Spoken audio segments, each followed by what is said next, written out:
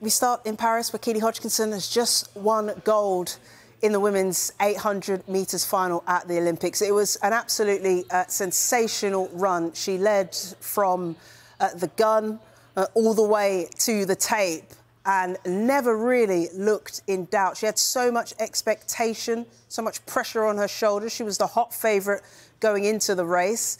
Uh, she qualified fastest for this final, but when she walked out onto the track, she looked so relaxed. Her shoulders weren't hunched. She didn't look like she felt the weight of pressure and expectation on her.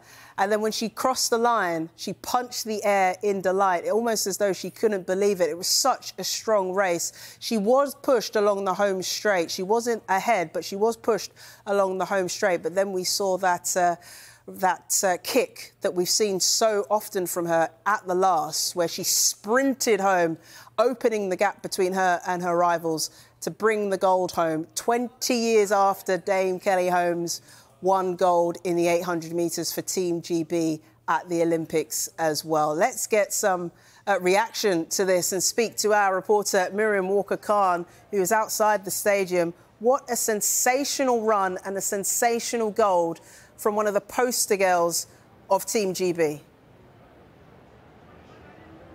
Yeah, just that was absolutely electric. Keely Hodgkinson, 800 metre Olympic champion, a 22 year old from Manchester, from Wigan, is the Olympic champion of the 800 metres. It was incredible to watch. And like you said, she led from the gun. That sprint finish at the end was incredible. She was so calm, so composed, which is crucial in an event like that where it can get tricky, it can get tactical, you can get boxed in, but she was so calm and I think that just sums her up. She has got so much confidence in herself and this whole season she's gone in with a massive amount of pressure on her shoulders and she's absolutely just been incredible to watch. The way she has bounced back after the past few years. Three global silver medals, a silver medal at Tokyo in those Olympics when she was just 19, a silver at the World Champs in Eugene in 2022, a silver in Budapest in 2023.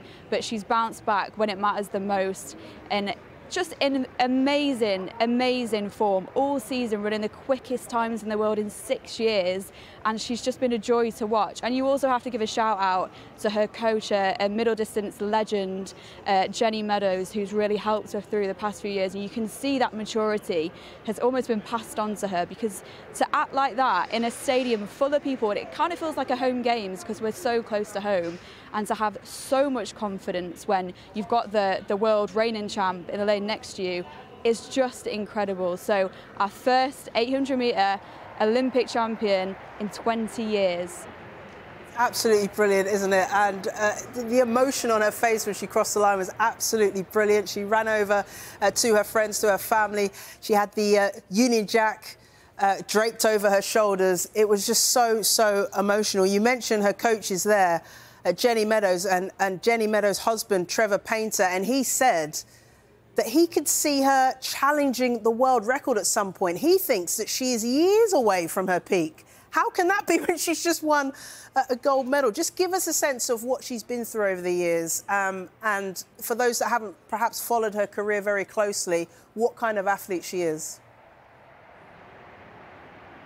Well, I think when you know that she's got three silver medals at global champs in a row and then she can bounce back and do that, it kind of tells you everything. But to be 19 in Tokyo and win a silver medal is just incredible. And the 800 metres is so competitive, the women's 800. And I think Trevor's right, she could break a world record because if she's doing this at 22, off just a few years of experience on the global stage, who knows what more she can do. Now she's kind of racing against the clock. She's proved what she needs to prove. I'm sure she'll win other global medals. I'm sure that she'll just keep going because she's so confident in her own ability. We spoke to her a few weeks ago at the London Diamond League and she was absolutely going for gold. There was a pacemaker in that race and I said to her, is, did you ask for that pacemaker? And she said, that's my training partner. I said, but did you ask for it? And she said, yeah. And you can tell she just wants to run quicker and quicker and quicker every time. And that is amazing to watch because she's not just settling for medals. The fact that she's pushing herself when she knows she's so clear of the rest of the field is just incredible to watch. And the atmosphere in the stadium honestly was incredible. It felt like everyone was just cheering her on. I got goosebumps. I got a bit teary at the end, to be honest, because just seeing a Northern woman win that event is incredible on the global stage. When it's so competitive, Jess, isn't it? So just amazing to be part of that and just watch her kind of just just be such a legend of the sport already when she's so young, so young. Yeah, I'm not surprised you were tear-eyed. We, we had goosebumps here at Sky Sports News HQ uh, watching her whiz around the track. And she was whizzing, let's be honest. Her time, uh, 1 minute 56.72. Absolutely incredible. Uh, you know, a good two and a half seconds off that world record, but you, wouldn't bet against her breaking that in the next couple of years. And just in terms of her training, which you mentioned, she's been training at altitude in South Africa and the Pyrenees in four-week blocks. She's put so, so, so much, so much into this. What do you think this medal might do now to change her life, but also maybe give British athletics a bit of a boost? It's their first athletics medal, Team GB, since Mo Farah back in 2016. Yeah, I think generally British middle distance running right now is in an incredible place. I think that was kind of um, catapulted by Jake Wightman a few years ago in Eugene at the World Championships when he won that uh, medal and that gold medal in 2022, and then Josh Kerr the next year bursting onto the kind of the world stage. So I think him, uh, Josh Kerr has all been in the 1500 final tomorrow night. He is a, a massive favourite for gold. So I think the whole of Brit uh, British middle distance running is in such a strong place, and that can only kind of breed success for everyone else. And I think we've been missing that, haven't we, for a few years? That era uh, of middle distance running, especially in like the 80s, that I wasn't born for, and, and people talk about it in such an incredible way. And I think that is what we'll have with this era, with Keely, with Josh, with Jake, and it's just been amazing to watch as well. The two girls that made the semi-finals. Gemma Reekie and Phoebe Gill, they're so young as well. So I think there's so much more to come and it's a really, really exciting time for athletics. It really is. Uh, I'm not sure if she could go to the supermarket beforehand, but she definitely won't be able to now, will she? no. No, and, and that's good. We want those athletes to be recognised the way that other sports stars are. I think it's brilliant for the sport when you're doing it on that level. I think people don't really watch, if they're not into athletics, they don't watch the world champs like they watch the Olympics, obviously. So to do it when it really matters is so crucial and so good for the sport. It really is. Um, OK, before Keely Hodgkinson uh, ran that sensational 800 metres. There was British interest, of course, in the women's 200 metre semi-finals, and uh, both Daryll Neita and Dina Asher-Smith through to the final.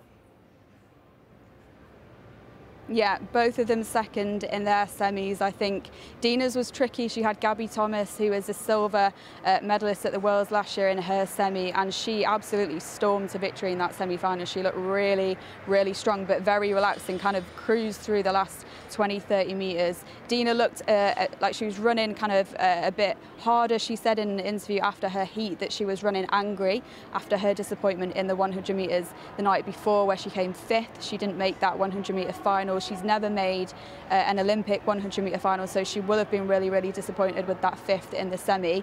But she's in that final tomorrow for the 200 metres, so that's done. Same for Daryll. Daryll came in, uh, I think, a, a lot more uh, full of energy after her 100 metre final. It was her consecutive 100 metre Olympic final, and that just kind of shows how much she's grown as an athlete as well over these past few years because she was eighth in Tokyo, fourth a couple of nights ago here, and she seems to just brought that confidence in. I think it would be really easy to go back and, you know, feel heartbreak after that fourth position in the 100 final, but she seems to just bounce back really uh, quickly and is excited to run. You can see that she's running really relaxed as well. She seems really happy, really kind of optimistic. So that is really, really exciting as well. Yeah, it's exciting times, isn't it, for uh, Team GB on the track. Uh, Miriam, great job as always. I'm jealous you got to be there, but uh, well done. Thank you for the moment. Now, of course, elsewhere, Great Britain have won their first track cycling gold medal of these Olympics. Emma Finucane and Sophie Capewell and Katie Marchant set a new world record on their way to gold in the women's team sprint while the British trio beat New Zealand in a new record time of 45.338 seconds, roared on by plenty of British fans inside the velodrome. It's the first time Britain has won a women's team sprint medal of any colour at the Olympics. American gymnast Simone Biles suffered double disappointment in Paris as she missed out on adding more gold medals on the floor and beam apparatus. First event of the day was the beam. Three athletes had fallen off during their routines, and uncharacteristically, Biles became the fourth. Despite the high difficulty of her routine, the fall cost her a medal, and she finished in fifth, with Italy's Alice D'Amato taking gold. Next was the floor. Biles had a difficulty score of half a mark higher than any other gymnast in the final. She executed her routine well, but the power of her tumbles took her outside the landing area twice, and that cost her the gold. She finished three one hundredths of a mark behind her closest rival, Brazilian Rebeca Andrade, who became the first gymnast to beat Biles in a floor final. And there was further drama for the bronze medal Biles's USA teammate, Jordan Chiles, contested her score and was upgraded from fifth into third. Beam final is always the most stressful, um, but usually we have like music or background noise, whatever that may be. And honestly, we do better in environments when there's noise going on because it feels most like practice. So today, like you could hear some of the Android ringtones going off, the photo clickers, whatever that was. And so, you know, you're trying to stay in your zone. And then people start cheering, and then the shushing gets louder. So, really, they should be shushed because they're louder than them. I don't know. It was really weird and awkward. And we've asked several times if we could have some music um, or some background noise. So, I am not really sure what happened there. But yeah, not our favorite. None of us liked it.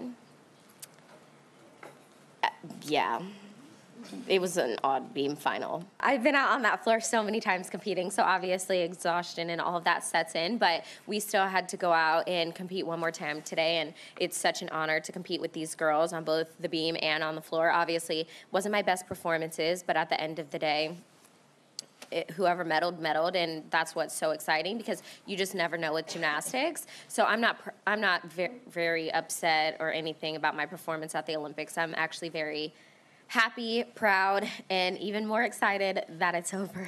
the stress of it. A couple years ago, I didn't think I'd be back here at an Olympic Games. So competing and then walking away with four medals, I'm not mad about it. I'm, I'm pretty proud of myself. Well, she's still smiling, isn't she? Uh, let's take a look at where Biles ranks then amongst the most successful female Olympians. She's seventh overall is the third American on the list behind swimmers Katie Ledecky, who took her tally to 14 in Paris, and then Jenny Thompson. And Biles finishes the Games as the third most successful gymnast of all time. Her 11 medals draw her level with Czech's Vera Caslavska, but the all-time leader is the Soviet gymnast Larissa Latynina.